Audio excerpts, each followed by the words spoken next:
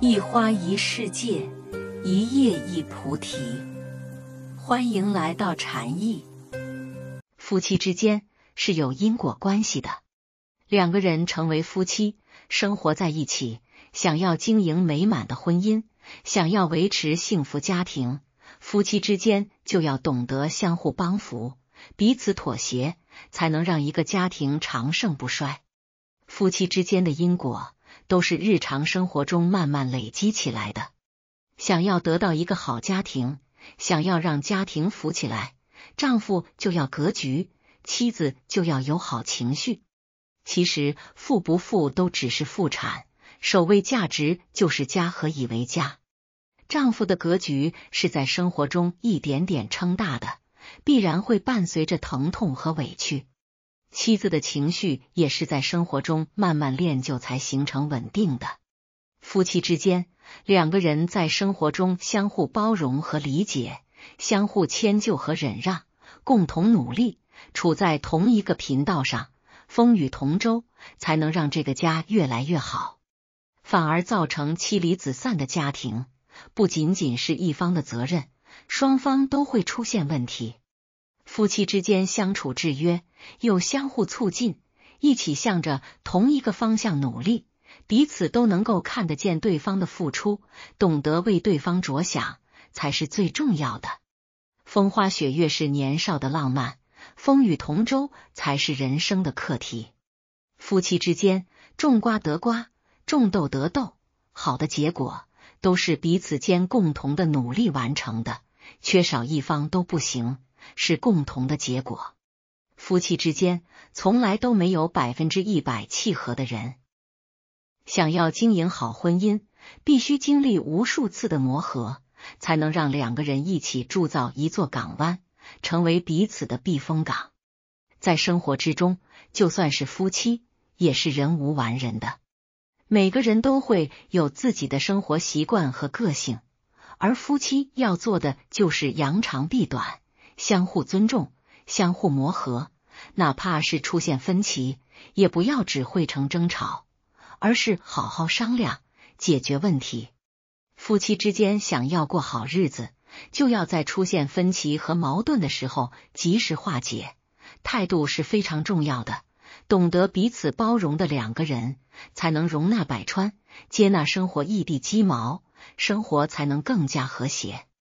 正如父母爱情中的江德福和安杰，两个人其实有很大的生活习惯上的分歧。安杰习惯了吃西式早餐，江德福喜欢吃中式早餐。江德福依然会尊重妻子的选择，也乐意陪他一起吃西式早餐。江德福知道安杰有洁癖，他也会慢慢的改变自己一些不良习惯，讲究卫生，吃饭洗手。睡觉洗漱，江德福知道安杰喜欢喝咖啡，有机会都会给他买回来，哪怕自己不喜欢这个味，也不会干涉妻子喝咖啡。江德福尊重妻子的习惯，也慢慢适应妻子的节奏。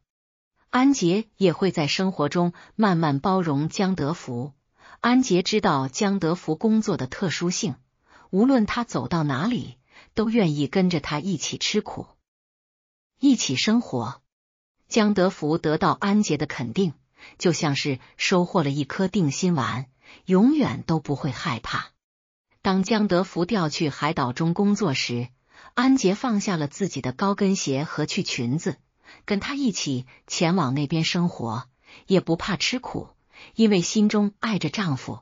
她也学习做一个好妻子，在家里做家务、挑水干活，学会做饭。丈夫主外，她主内，相互依靠，相互搀扶。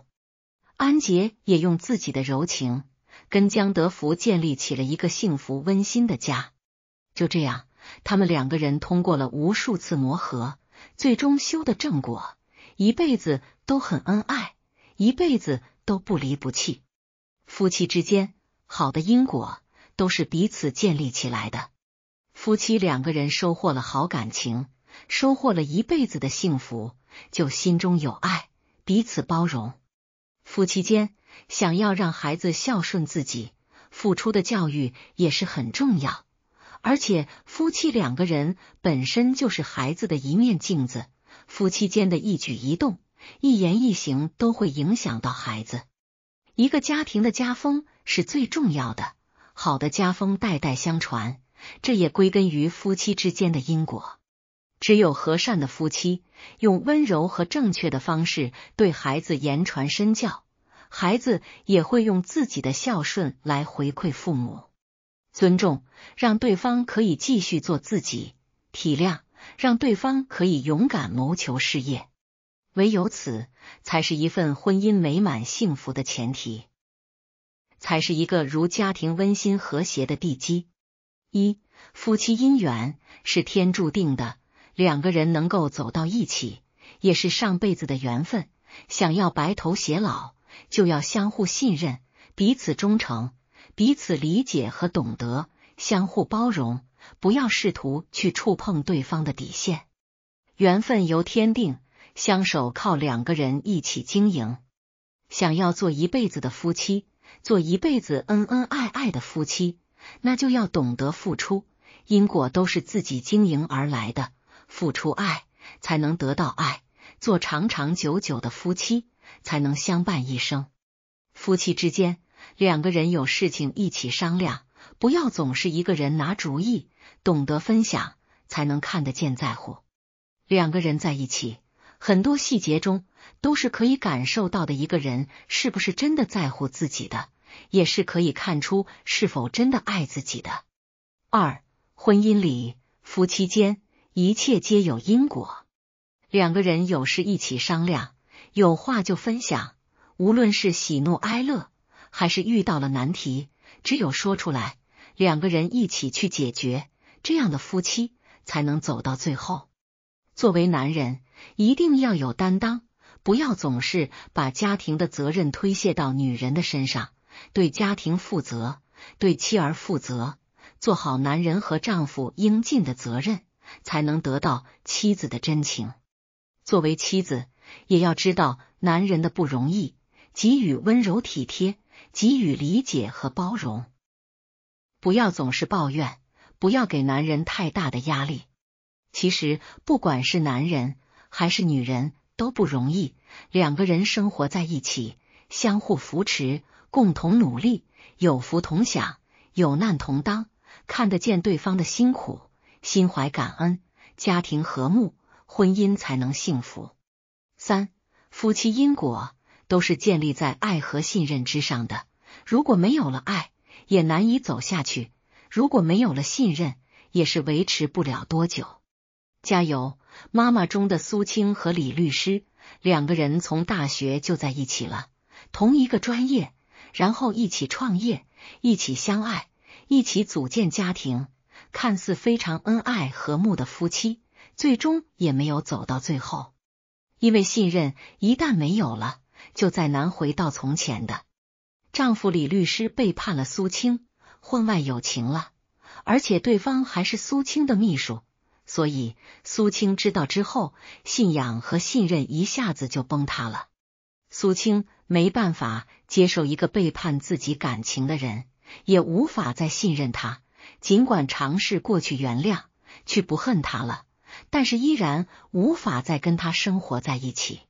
所以，苏青提出了离婚，夫妻之缘也到此结束了。夫妻之间，不管是哪一方做错了事，触碰到了对方的底线，爱和信任一旦没有了，那夫妻之缘也到此为止了。